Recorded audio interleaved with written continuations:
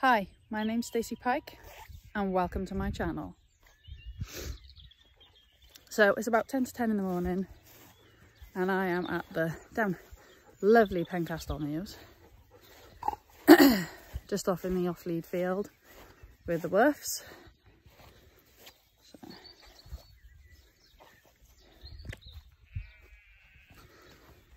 We've been here about 50 to 60 days now on lockdown and I thought I'd do a vlog. I'm bored out of my tree so I'm here with my dogs and my four-year-old daughter because she suffers from a rare lung condition and is highly susceptible to the disease so yeah, this is me. I'm a husky racer. Nothing like greyhound racing, more to do with sled dogs.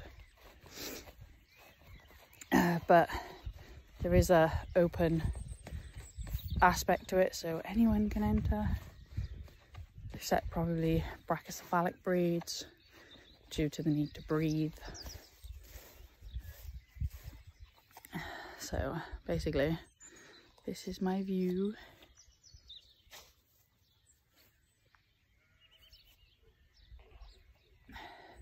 It's a beautiful place. These are going to just be like ramblings of me, my life, and what I get up to.